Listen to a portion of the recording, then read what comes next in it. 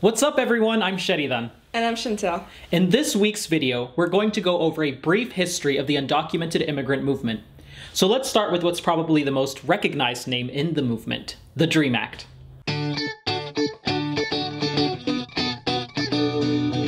The earliest predecessor to the DREAM Act we have come to know were introduced in 2001 but back then they only talked about pathway to permanent residency. Throughout 2001 to 2010, the language of the bill changed to include a pathway to citizenship.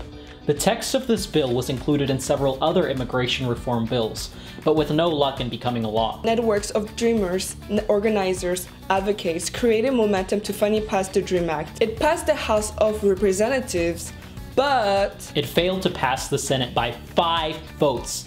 Five votes! But the fight didn't stop, and on June 15, 2012, all efforts led us to some form of relief.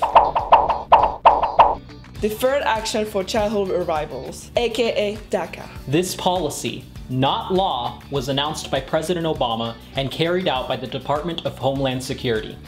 So where do we go from here? In the fall of 2012, undocumented people and allies who are part of the largest network of immigrant youth leaders, United We Dream, played a huge role in changing the focus of the movement. The goal? Comprehensive immigration reform.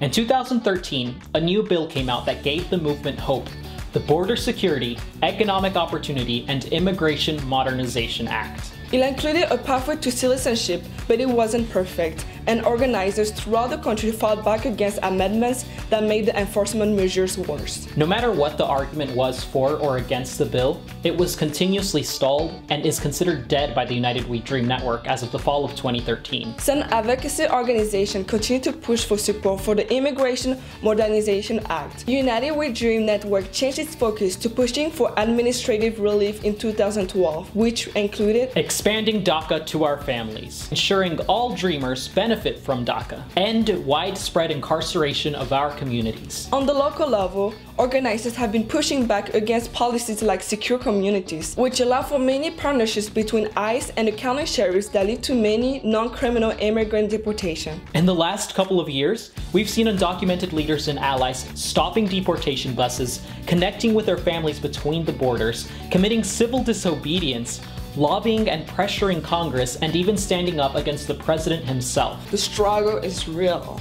but together we can create change. We've been building a lot of momentum and the time is now. There are many stories of this movement that we are unable to cover here, such as those of our undocumented Asian and Pacific Islander community, undocumented black community, the undocumented queer community, various faith communities, the stories of migrant children, and many more intersectional identities. Many people are affected by our movement. In some way, you've changed someone's life. Your existence has brought a face to this very real, very human movement. Together we can work toward the day we can see justice for our community. Word. So tune in to next week's College Uncomplicated's Undoc DocU. Together we can work toward a day we can see justice for our community. Is that still?